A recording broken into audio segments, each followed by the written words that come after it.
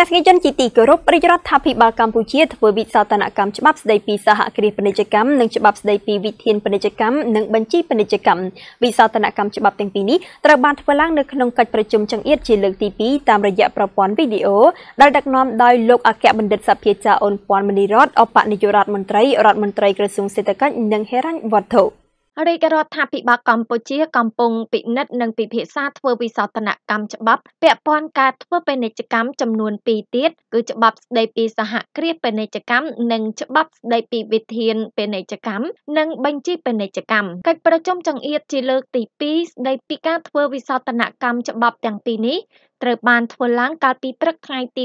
29ខែកញ្ញាឆ្នាំ2021តាមរយៈប្រព័ន្ធវីដេអូដឹកនាំដោយលោកអគ្គបណ្ឌិតសភាចាអូនពាន់មេរីរតឧបនាយករដ្ឋមន្ត្រីរដ្ឋមន្ត្រីក្រសួងសេដ្ឋកិច្ចនិងហិរញ្ញវត្ថុនិងមានការចូលរួមពីរដ្ឋមន្ត្រីពាណិជ្ជកម្មលោកប៉ានសូសារួមជាមួយមន្ត្រីមកពីក្រសួងពាក់ព័ន្ធមួយចំនួនទៀតក្នុងកិច្ចប្រជុំនោះលោករដ្ឋមន្ត្រីបានគប់បញ្ជាក់ថាច្បាប់ទាំងនេះពិតជាមានសារៈសំខាន់និងចាំបាច់ដើម្បីឲ្យស្របទៅនឹងការអនុវត្តជាក់ស្ដែង និងកំណែតម្រង់ក្នុងការសម្រួលការធ្វើធុរកិច្ចនៅក្នុងប្រទេសកម្ពុជា ជាពិសេសការស្ដារសេដ្ឋកិច្ចឡើងវិញក្រោយវិបត្តិនៃជំងឺ Covid-19